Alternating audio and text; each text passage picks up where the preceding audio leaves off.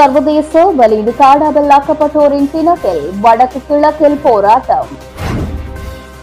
தமிழ் பொது வேட்பாளருக்கு தொடர்ந்தும் ஆதரவு கெலோ தெரிவிப்பு.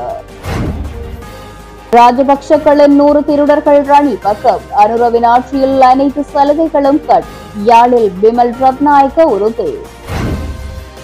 தமிழர்களின் மொழி உரிமையை உறுதிப்படுத்துவோம் தேர்தல் விஞ்ஞாபனத்தில் அனுர உறுதி. தமிழ் தேசிய பொது கட்டமைப்பு இன்று யாழில் கலந்துரையாடல். முன்னாள் போராளிகளின் தியாகத்தை அற்ற சலுகைகளுக்காக விலகி பேசாதீர் சபா குகதாஸ் வலியுறுத்து. ரணிலுக்கு கருணை தொகை வழங்க தயார் திலிப் சாய்வீர சாடல். இந்திய கடற்பரப்பில் யாழ்ப்பாணத்தை சேர்ந்த கடற்தொழிலாளர்கள் கைது. தடா சந்திரசேகர் ஐயா ஈழத்தமிழர் வரலாற்றில் தவிர்க்க முடியாத தமிழ் தேசிய பற்றுறுதியாளர் ஸ்ரீதரன் எம்பி அஞ்சலி. ஸ்ரீலங்கா சுதந்திர கட்சியின் முக்கியஸ்தர்கள் ஜனாதிபதிக்கு ஆதரவு. கொழும்பு துறைமுகத்தை வந்தடைந்தது இந்திய போர்க்கப்பல் தொடர்பது விரிவான செய்திகள். சர்வதேச வலிந்து காணாமல் ஆக்கப்பட்டோரின் தினத்தை முன்னிட்டு எதிர்வரும் முப்பதாம் தேதி வடக்கு கிழக்கில் முன்னெடுக்கப்படவுள்ள போராட்டம் தொடர்பாக ஜாழ் ஊடக மையத்தில் இன்று இடம்பெற்ற ஊடகவியலாளர் சந்திப்பில் அழைப்பு விடுக்கப்பட்டது. சர்வதேச காணாமல் ஆக்கப்பட்ட தினம். அந்த காணாமல் ஆக்கப்பட்ட தினத்தில் நான் எங்கட எங்கட மக்கள் எங்கட பிள்ளைகள் எங்களை எங்களோட எங்கட பிள்ளைகளின் கணவர்மார் அனைவரையும் நாங்கள் கையால் கொடுத்திருக்கிறோம். எங்கள் பிள்ளைகளையும் குடும்பம் குடும்பமாக எத்தனையோ நூற்றுக்கணக்கான பிள்ளைகள் தாய்மார் தாப்பன்மாரையும் கையால் கையளித்திருக்கின்றார்கள். இன்று வரையில் பதினைந்து வருட காலமாகிவிட்டது. இன்று வரையும் அவர்களின் முடிவில்லை. நாங்களும் எத்தனையோ இடங்களெல்லாம் போய் எல்லா இடங்களும் தேடி அலைஞ்சு பார்த்து எல்லார்ட்டும் கேட்டு கும்பிட்டு கூட கேட்டு பார்த்தோம். எங்களுக்கு அந்த மாதிரியான நீ கிடைப்பன கொடுப்பனவும் இல்லை பார்ப்பதற்கும் கொடுப்பனவில்லை கிடைக்கவும் இல்லை நீதி. எங்களுக்கு இங்கே நாங்கள் நீதி வேண்டுமென்று நாங்கள் இப்போ கேட்க இல்லை இப்போ நாங்கள் கேட்பது என்னன்னு சொன்னால் எங்கள்ட நாங்கள் இவ்வளோ காலமும் எங்களுக்கு கிடைக்காத நீதி கிடைக்காதென்றே நல்லாக தெரியும். அவர்கள் எங்களையே துன்புறுத்தி கொண்டிருக்கின்றார்கள். போன் எடுத்து போன் எடுத்து போன் எடுத்து இந்த சர்டிஃபிகேட் எடுங்க இந்த காசை வாங்குங்க இந்த சர்டிஃபிகேட் எடுங்கோன்னு ஒவ்வொரு ஒரு வீட்டுக்கும் அழைப்பிதான் கொடுத்து கொண்டு இருக்கின்றார்கள் இந்த ஜிஎஸ் மூலமாகவும் டிஎஸ் மூலமாகவும். ஆனால் நான் அந்த அந்த அந்த மாதிரியான அந்த மாதிரியான கதைகளும் அந்த மாதிரியான எடுத்து மிரட்டல்களும் அந்த சர்டிஃபிகேட் எடுங்கன்னு சொல்கிறதும் அவர்களுக்கு தகுதி இல்லைன்னு நினைக்கின்றேன். ஏன்னு சொன்னால் பதினைந்து வருட காலமாகிவிட்டாது. இனிமேல் இனிமேல் இந்த நாட்டில் எங்களுக்கு கிடைக்காத நீதி என்று தானே நாங்கள் சர்வதேசத்திட்ட போனோம். ஏன் நீங்கள் எங்களை என்ன தாய்மார்களுக்கு இவ்வளவு அநியாயத்தை கொடுக்குறீங்கள்? பேசுறீங்கள் லேசுறீங்கள் வீடுகளுக்கு வந்து விரட்டுறீங்கள். அப்படியெல்லாம் செய்ய வேண்டாம். ஆனால் நாங்கள் ஏன் இந்த சர்வதேச நாங்கள் சர்வதேசத்தை தானே நாங்கள் பண்ணிட்டு நிற்கிறோம் இந்த சர்வதேசம் எங்க எங்களுக்கும் இந்த காலதாமத்தை கொடுத்து எங்களை பேக்காட்டி கொண்டிருக்கின்றது? இந்த இந்த சர்வதேசத்தை நாங்கள் மன்னிப்பா வந்தது. சர்வதேசம் எங்களுக்கு நீதி கிடைக்கும். நீதி பெற்று தருவார்கள் என்ற நினைப்பில் தான். ஆனால் இன்னமும் எங்களுக்கு அந்த சர்வதேசமும் தான் போல கிடக்கிறது. நாங்கள் இப்போ என்னன்னு சொன்னால் எதிர்வரும் முப்பதாம் தேதி சர்வதேச காணாமல் ஆக்கப்பட்ட தினத்துக்கு நாங்கள் வலி சேர்க்க வேண்டும். எங்களுக்கு ஆதரவு தர வேண்டும். எங்கள் பேரணிக்கு வ- யா எந்த வீட்டிலேயாவது ஒருவராவது ஒருவராவது எங்களுக்கு வந்து எங்களோட பேரணியில் கலந்து கொண்டு எங்களோட பேரணியையும் எங்கள் காணாமல் ஆக்கப்பட்ட உறவுகளை தேடுவதற்கும் ஆதரவு தந்து வலி சேர்க்கணும் என்றுதான் நாங்கள் இதை கேட்கின்றோம். நான் யாழ் மாவட்டம் ஆகிய நான் தீவகம் தான் எனது எனது சொந்த இடம் தீவகம் தான். ஆனால் எனது தீவக மக்களை நான் அந்த சார்பாக நான் கூப்பிட்டு அழைக்கின்றேன். ஏனென்று சொன்னால் நீங்கள் ஏனென்று இருக்காதீர்கள். உனக்கு எனக்கென்று சொல்லி இருக்காதீர்கள். இது வந்து எல்லாருக்குமான காணாமலாக்கப்பட்ட சர்வதேச தினம்தான். நாங்கள் போராடுகின்றபடியாத்தான் நீங்களும் நல்லாகவே நடமாடுகின்றீர்கள். ஆனபடியினால எங்களுக்கு நீங்க அனைவரும் அனைவரும் நீங்க நீங்க அதுக்கு நாங்க போத்தல்ல இதுக்கு நாங்க போக தேவையில்லை என்றாதீர்கள். எங்களுக்கு தயவு செய்து கேட்கின்றோம் அன்பாக கேட்கின்றோம் அன்புரிமையோடு உங்களை கேட்கின்றோம் கையெடுத்து கும்பிட்டு கேட்கின்றோம். எங்களுக்கு இது வலி சேர்க்க வேணும். எங்களுக்கு வார வார எங்களுக்கு வார சந்தர்ப்பம் நல்லதாக அமைய வேண்டும். நீங்கள் எல்லாருமாக எங்களுக்கு கை கொடுத்தாதான் எங்களுக்கும் எங்களுக்கும் ஆதரவு கிடைக்கும். எங்களுக்கும் ஒரு நல்ல சுவிச்சமாக நல்ல தீ- தீர்மானம் கிடைக்கும். ஆனபடினால அனைவரும் வந்து அனைவரும் வந்து எங்களின் இந்த போராட்டத்திற்கு வலி சேர்க்க வேண்டும் என்று ஆரிய உல சந்தியில் துவங்கி முனியப்ப கோயில் வளாகத்துக்குள்ள நிறைவடையும் ஆரியோல சந்தையிலிருந்து பத்து மணிக்கு இந்த போராட்டம் பேரணியானது ஆரம்பிக்கப்படும் என்பதையும் நாங்கள் உறுதியோடு சொல்லுகின்றோம்.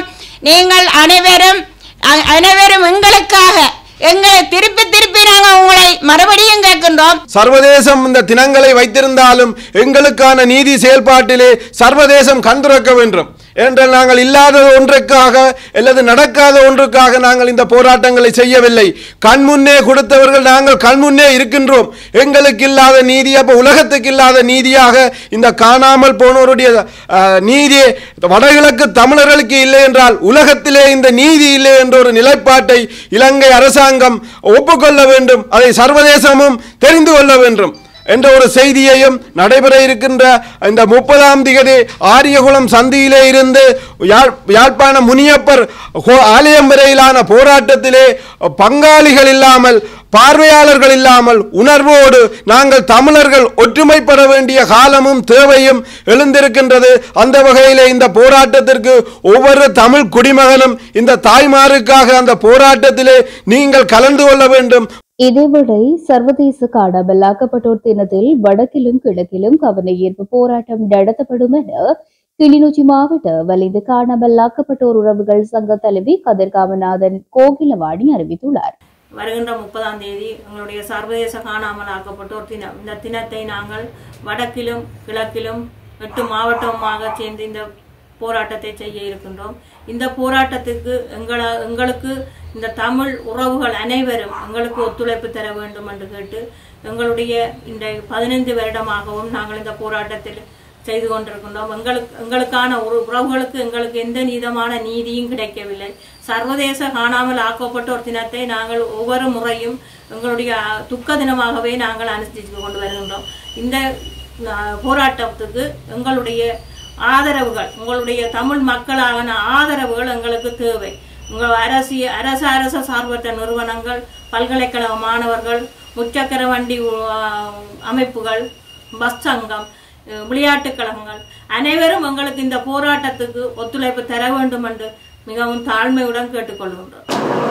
பாதிக்கப்பட்ட குடும்பங்களின் இளையோர்களால் கண்காட்சி ஒன்று இன்று கிளிநொச்சியில் இடம்பெற்றது. கிளிநொச்சி பேருந்து நிலையம் முன்பாக இடம்பெற்ற கண்காட்சியில் பல்வேறு கருத்துக்களை தாங்கிய சித்திரங்கள் காட்சிப்படுத்தப்பட்டன. காணாமலாக்கப்பட்டோரின் குடும்பங்களிலிருந்து வழங்கப்பட்ட கருத்து சித்திரங்கள் இதில் காட்சிப்படுத்தப்பட்டது குறித்த கண்காட்சியை பலரும் பார்வையிட்டு வருகின்றார்கள். தமிழ் பொது வேட்பாளர் தொடர்பாகவும் ஜனாதிபதியுடனான சந்திப்பு தொடர்பாகவும் டெலோவின் ஊடக பேச்சாளர் சுரேன் குருசாமியின் ஊடக சந்திப்பு இன்று யாழ்ப்பாணத்தில் இடம்பெற்றது. இன்றைய தினம் நாங்கள் அறிவித்த பொது வேட்பாளரினுடைய அழுத்தங்கள் காரணமாக தொடர்ச்சியாக தெற்கிலிருந்து பல்வேறு விதமான அழைப்புகள் பேச்சுவார்த்தைக்காக எங்களோடு பேச வேண்டும் என்பதற்காக வந்த வண்ணமே இருக்கின்றன.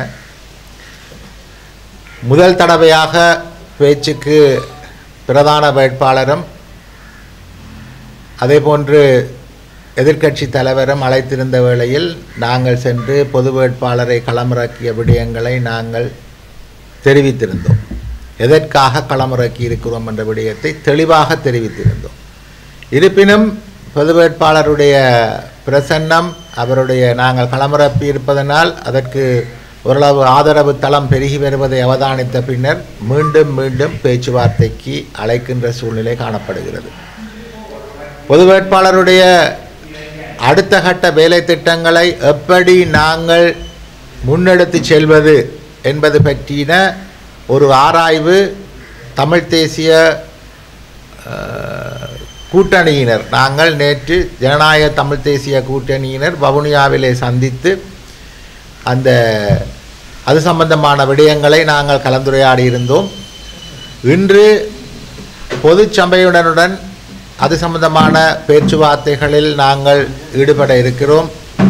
பொது வேட்பாளருடைய விடயத்தை எப்படி அடுத்த கட்ட நகர்வுகளை நாங்கள் மேற்கொண்டு நகர்த்துவது என்பதும் அதே நேரம் தெற்கிலிருந்து வரக்கூடிய பேச்சுவார்த்தைகள் அல்லது பிரதான வேட்பாளர்கள் அந்த அழைப்புகளை எப்படி கையாளுவது என்பது பற்றியதான கலந்துரையாடல் இன்று நடைபெறுகிறது.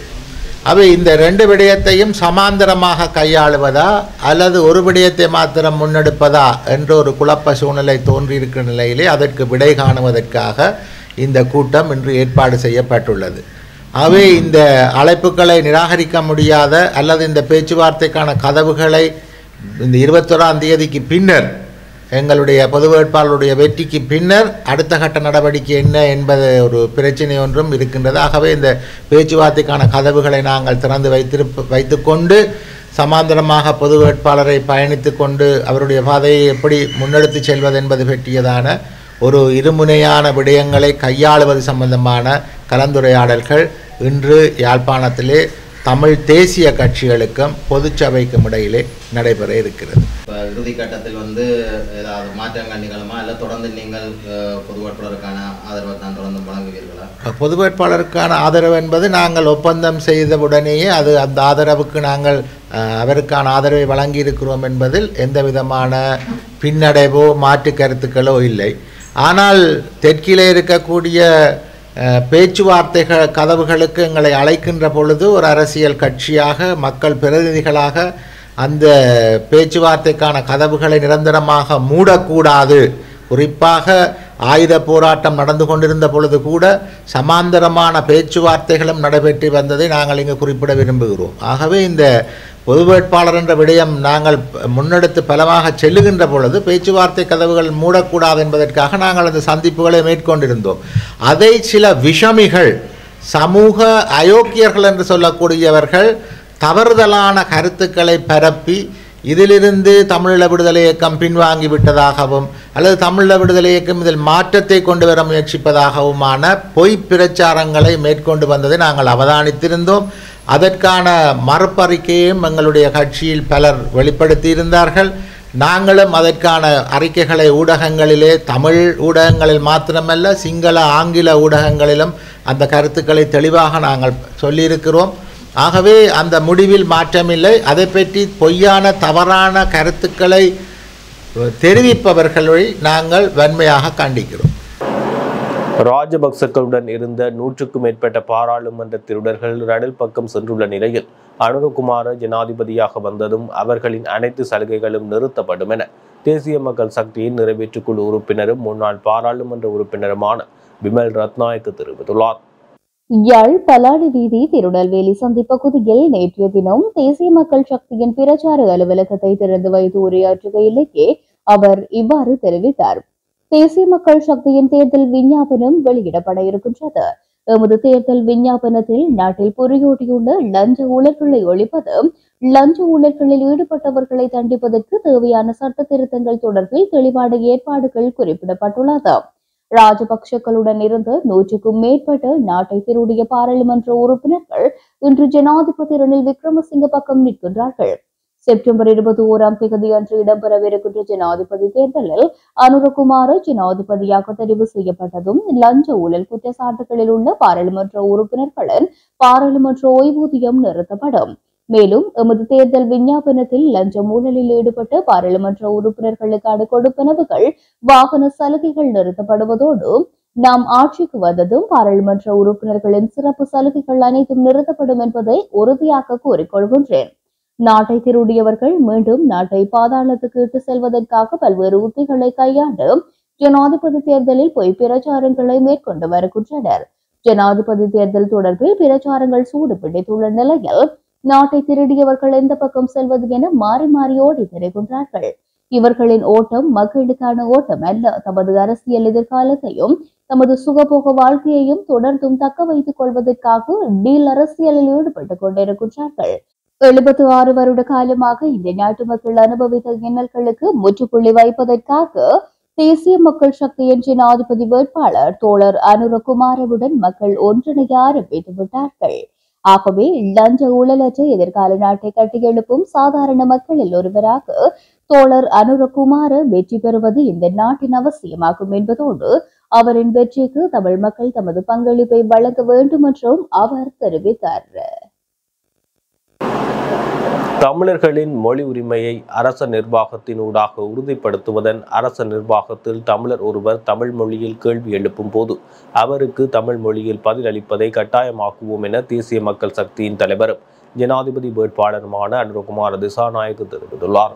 வளமான நாடு அழகான வாழ்க்கை எனும் தொனிபொருளில் தேசிய மக்கள் சக்தியின் தேர்தல் விஞ்ஞாபனம் கட்சியின் தலைவரும் ஜனாதிபதி வேட்பாளருமான அனுரகுமார் திசநாயக்கவினால் இன்று திங்கட்கிழமை கொழும்பில் வெளியிட்டு வைக்கப்பட்டது.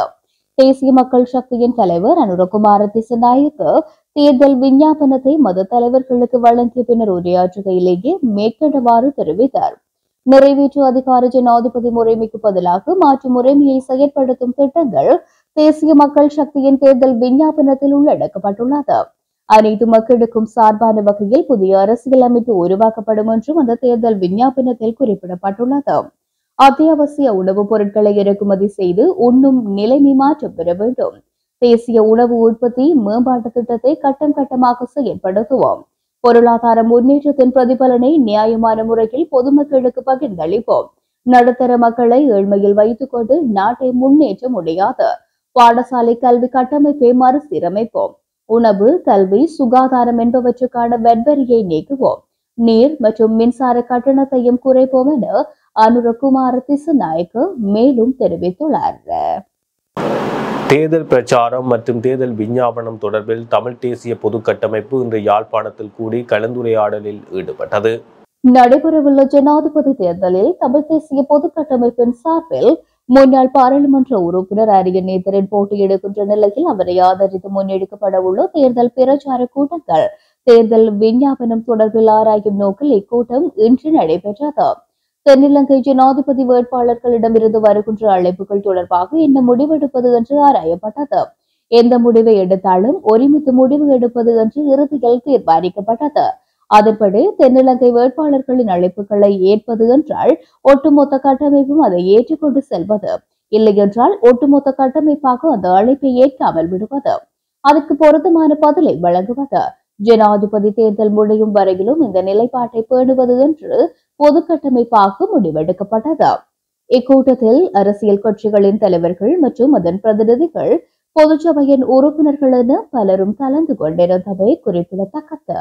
இன்று யாழ்ப்பாணத்தில் நடந்த கூட்டத்திலே தமிழ் தேசிய கட்சிகளும் தமிழ் பொதுச்சபையும் ஒன்றிணைந்து அடுத்த கட்டமாக பொது வேட்பாளரை பொது வேட்பாளருடைய பிரச்சார நடவடிக்கைகளை எப்படி முன்னெடுப்பது என்பது பற்றி தீவிரமாக ஆலோசித்து அது சம்பந்தமான முடிவுகளை எட்டியிருக்கிறோம். மாவட்ட ரீதியாக தொகுதி ரீதியாக வடக்கு கிழக்கிலே பரந்துபட்ட அளவிலே எப்படி எல்லோரும் ஒன்றிணைந்து இந்த பிரச்சார நடவடிக்கைகளை முன்னெடுப்பது பற்றியதான தீர்மானங்களை நாங்கள் எட்டியுள்ளோம்.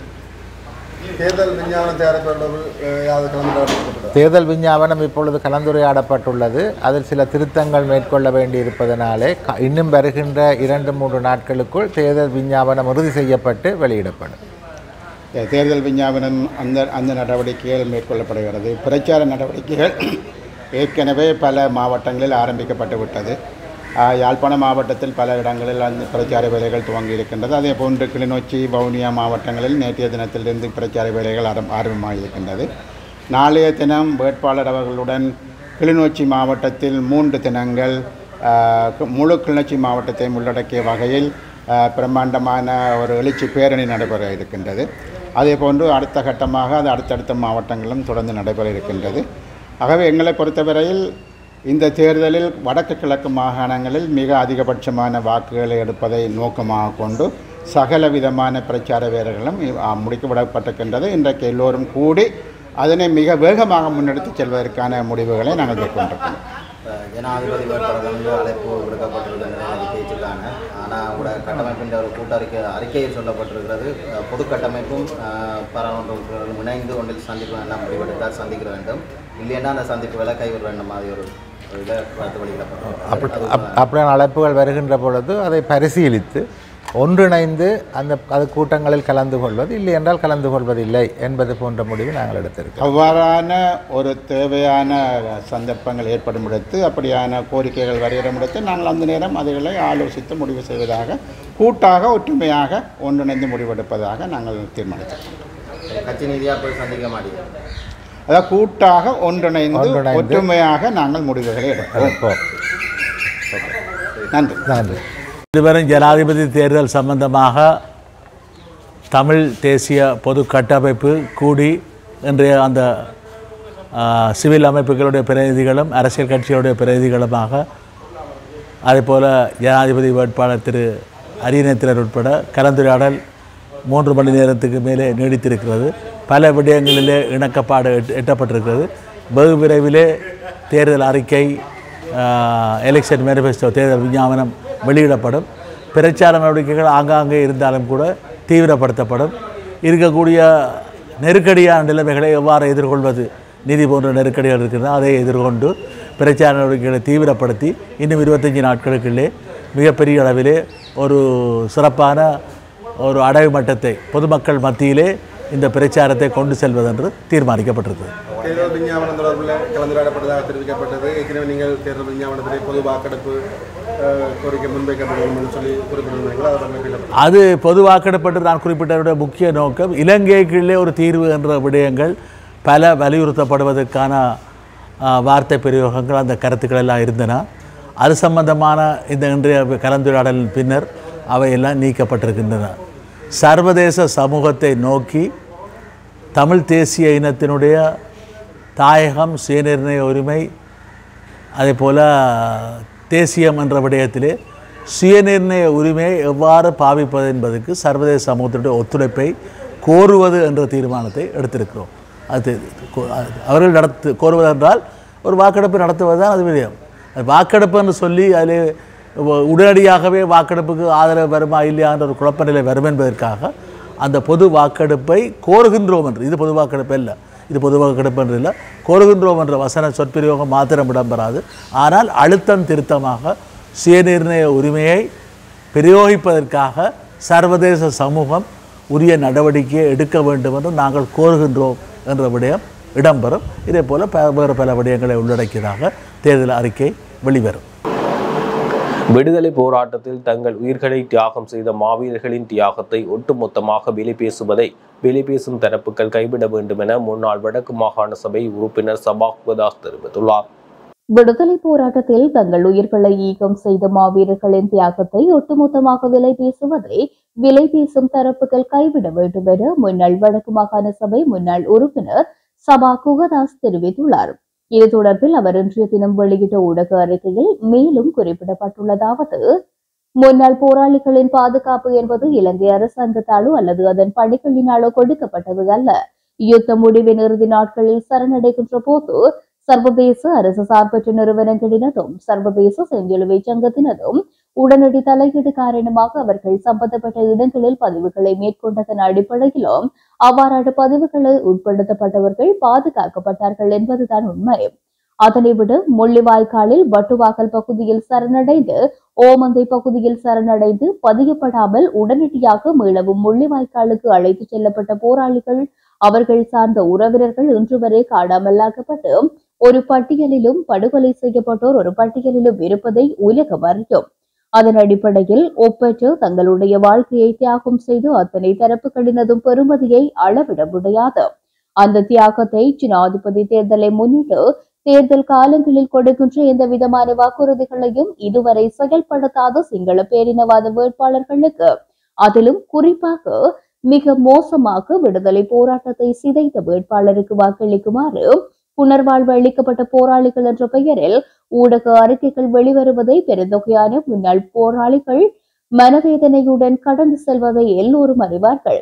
இதனால் இவ்வாறு விடுதலை போராட்டத்தின் தியாகத்தையும் அதன் வலியையும் வேதனைகளையும் அவலங்களையும் அற்ப சலுகைகளுக்காக விலை பேசுகின்ற தரப்புகளை மக்கள் இனம் கண்டு கொள்வது காலத்தின் கட்டாயம் என்று அதில் குறிப்பிடப்பட்டுள்ளது.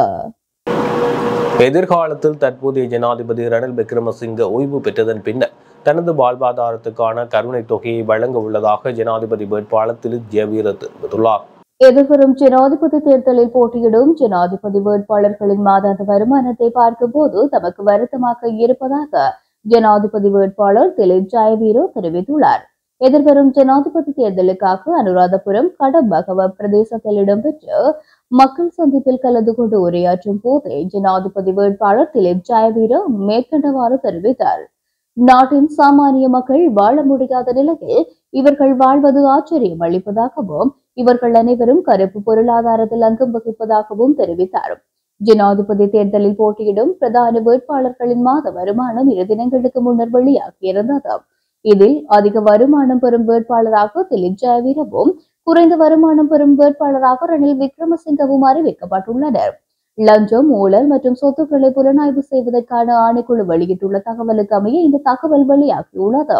இரண்டாவது அதிகூடிய மாதாந்த வருமானம் சட்டத்தரணி விஜயதாச ராஜபக்ஷ எனவும் அவருடைய மாதாந்த வருமானமாக பதிமூன்று லட்சத்து நாற்பது ஐயாயிரம் ரூபாய் என்றும் தெரிவிக்கப்பட்டுள்ளது. ஜனாதிபதி தேர்தலில் போட்டியிடும் வேட்பாளர்கள் வேட்புமனு தாக்கல் செய்யும் போது தேர்தல் ஆணைக்குழுவிடம் தமது சொத்துக்கள் மற்றும் கடன்களை சமர்ப்பிக்க வேண்டிய முதல் சந்தர்ப்பம் இது என்பதும் குறிப்பிடத்தக்கது. படகு பழுதடைந்ததன் காரணமாக இந்திய கடற்பகுதியில் தத்தளித்த இலங்கையின் வடக்கு கடற்தொழிலாளர்கள் நான்கு பேர். இந்திய கடற்பரப்பில் அத்துமீறி நுழைந்து கடற்தொழிலில் ஈடுபட்டதாக குற்றம் சுமத்தப்பட்டுள்ளது.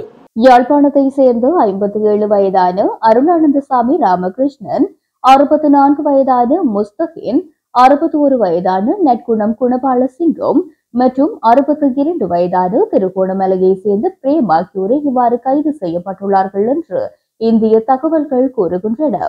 குறித்த கடற்தொழிலாளர்கள் அவர்களின் படகு பழுதடைந்ததை அடுத்து கடலில் தத்தளித்துள்ளனர். இந்நிலையில் வீசிய பலத்த காற்றின் காரணமாக அவர்களின் படகு இந்திய கடல் பகுதிக்குள் தள்ளிச் செல்லப்பட்டுள்ளது. இதனைத் தொடர்ந்து கடந்த பத்து நாட்களுக்கு முன்னர் இந்த கடற்தொழிலாளர்களை காசிமேடு கடற்தொழிலாளர்கள் கண்ட நிலையில் கடலோர போலீசாருக்கு தகவல் தெரிவிக்கப்பட்டுள்ளது. இதனை அடுத்தே குறித்த இலங்கை கடற்தொழிலாளர்கள் கைது செய்யப்பட்டு சென்னை துறைமுகத்திற்கு அழைத்துச் செல்லப்பட்டுள்ளனர். இன விடுதலை பயணத்தின் பங்குதாரராக தன்னாலான அனைத்து பணிகளையும் ஆற்றிய தமிழ் தேசிய பெரும் மனிதனான தடா சந்திரசேகரன் அவர்களின் இழப்பு எமக்கெல்லாம் பேரிழப்பு என பாராளுமன்ற உறுப்பினர் சிவஞானம் ஸ்ரீதரன் தெரிவித்துள்ளார். மதுரை சிவகங்கை மாவட்டத்தில் அமைக்கப்பட்டுள்ள அவரது நினைவிடத்தில் அண்மையில் நடைபெற்ற அன்னாரது முதலாம் ஆண்டு நினைவேந்தல் நிகழ்வில் பங்கேற்று நினைவுரையாற்றும் போது அவர் இவ்வாறு தெரிவித்துள்ளார். குறித்த நிகழ்வில் நாம் தமிழர் கட்சியின் தலைமை ஒருங்கிணைப்பாளர் செந்தமிழன் சீமான் கட்சி உறுப்பினர்கள் தடா சந்திரசேகர் அவர்களது குடும்பத்தினர் பொதுமக்கள் என பெருமளவிலானோர் கலந்து கொண்டிருந்தமை குறிப்பிடத்தக்கது. ஜனாதிபதி தேர்தலில் ரணில் விக்ரமசிங்கவின் வெற்றியை உறுதிப்படுத்துவதற்காக நீண்ட காலமாக ஸ்ரீலங்கா சுதந்திர கட்சியை பிரதித்துவப்படுத்தும் பலமான செயற்பாட்டாளர்கள் ரணில் விக்ரமசிங்கவுடன் இணைந்து கொண்டுள்ளனர். களுத்துறை தொகுதியில் ஸ்ரீலங்கா சுதந்திர கட்சியின் பிரதம அமைப்பாளராக செயல்பட்டு முன்னாள் பிரதி அமைச்சரும் களுத்துறை மாவட்ட பாராளுமன்ற உறுப்பினருமான பிரியங்கனி அபேவீர ஸ்ரீலங்கா சுதந்திர கட்சியின் ஹம்பகா தொகுதியின் பிரதான அமைப்பாளர் எஸ் டி பண்டாரநாயக்கவின் பேரன் பண்டு பண்டாரநாயக்கவின் மகன் பிரவீன் டயஸ் பண்டாரநாயக்க கொலண்ண தொகுதி ஸ்ரீலங்கா சுதந்திர கட்சியின் பிரதம அமைப்பாளர் சாந்த ரத்நாயக்க ரக்வான தொகுதி ஸ்ரீலங்கா சுதந்திர கட்சியின் பிரதம அமைப்பாளர் உபாலி சந்திரசேன அம்பாறை மாவட்ட ஸ்ரீலங்கா சுதந்திர கட்சியின் மாவட்ட அமைப்பாளர் அருடமுன சிங்க லக்கல தொகுதியின் ஸ்ரீலங்கா சுதந்திர கட்சியின் தொகுதி அமைப்பாளர் அசித வேகொடபல ஸ்ரீலங்கா சுதந்திர கட்சியின் ஹம்பகா மாவட்ட அமைப்பாளர் சமலடி சில்வா ஆகியோர். இன்றைய தினம் முற்பகல் கொழும்பு பிளவர் வீதியில் உள்ள ஜனாதிபதி ரணில் விக்ரமசிங்கவின் அலுவலகத்திற்கு வந்து ஜனாதிபதியின் வெற்றிக்காக அர்ப்பணிப்புடன் செயற்படுவதாக அறிவித்தார்கள். கடந்த காலத்தில் நாட்டில் ஏற்பட்ட பொருளாதார வீழ்ச்சியை கருத்தில் கொண்டு கட்சி பேதமின்றி அனைவரையும் ஒன்றிணைத்து ஜனாதிபதி ரணில் விக்ரமசிங்க நாட்டின் பொருளாதாரத்தை காப்பாற்றியதாக சுட்டிக்காட்டிய பிரதிநிதிகள் நாட்டு மக்கள் அனைவரும் சாதி மத கட்சி நிற பேதமின்றி எரிபொருள் மற்றும் எரிவாயு வரிசையில் நின்று தவித்துள்ளதாகவும் நாட்டில் மீண்டும் இவ்வாறானதொரு நிலை ஏற்பட இடமளிக்க முடியாது என்றும் தெரிவித்தார்கள். சஜித் பிரேமதாசு மற்றும் அனுரகுமார திசுநாய்க்கு ஆகியோர் உண்மையை மறைத்து பொய்யை விதைத்தாலும் நாட்டு மக்கள் தற்போது உண்மையை உணர்ந்து கொண்டுள்ளதாக அவர்கள் மேலும் சுட்டிக்காட்டினர். இந்திய கடற்படையின் முன்னரங்க போர்க்கப்பலான ஐஎன்எஸ் மும்பை மூன்று நாள் விஜயமாக இன்று இருபத்தி ஆறாம் தேதி காலை கொழும்பு துறைமுகத்தை வந்தடைந்தது. இக்கப்பலுக்கு இலங்கை கடற்படையினரால் சம்பிரதாய பூர்வமான வரவேற்பு வழங்கப்பட்டது. இந்தியாவில் தயாரிக்கப்பட்டு டெல்லி ரகத்தினை சேர்ந்த நாசகாரி கப்பல்களில் மூன்றாவது கப்பல் ஐஎன்எஸ் மும்பை ஆகும். மஸ்கன்டாக் லிமிடெட் நிறுவனத்தினால் தயாரிக்கப்பட்ட இக்கப்பலுக்கு மும்பை நகரின் பெயரை அடிப்படையாக கொண்டு பெயர் சூட்டப்பட்டது. இக்கப்பல் அதன் தரம் உயர்த்தல் பணிகளின் பின்னர் இரண்டாயிரத்தி இருபத்தி மூன்றாம் ஆண்டு டிசம்பர் எட்டாம் தேதி விசாகப்பட்டினத்தில் உள்ள கிழக்கு பிராந்திய கடற்படை கட்டளை பிரிவினரிடம் சேவையில் இணைக்கப்பட்டது. கொழும்பு ஐஎன்எஸ் மும்பை தரித்து நிற்கும் காலத்தில் இரு கடற்படையினரதும் சிறந்த நடைமுறைகளை பகிர்ந்து கொள்ளும் இலக்குடன் இலங்கை கடற்படை அதிகாரிகள் இக்கப்பலுக்கு விஜயம் செய்து அனுபவ பகிர்வு செயற்பாடுகளில் ஈடுபட உள்ளனர். இந்நிலையில் இக்கப்பலின் விஜயத்தின் போது மேற்கு கடற்படை பிராந்திய தளபதி ரியர் அட்மிரல் டபிள்யூ டிசியு குமாரசிங்க இக்கப்பலின் கட்டளை அதிகாரி மேற்கு கடற்படை பிராந்திய தலைமையகத்தில் சந்திக்க உள்ளார். இக்கப்பலுக்கு இலங்கை கடற்படையினரால் சம்பிரதாய பூர்வமான வரவேற்பானது வழங்கப்பட்டிருக்கின்றது இத்துடன் ஜெஃப்னா கிளரியின் இரவு நேர பிரதான செய்திகள் நிறைவு பெறுகின்றது. மேலும் செய்திகளை அறிந்து கொள்ள எமது இணையதள பக்கமான W W W dot Jaffna gallery dot LK என்ற இணையதளத்துடன் இணைந்திருங்கள்.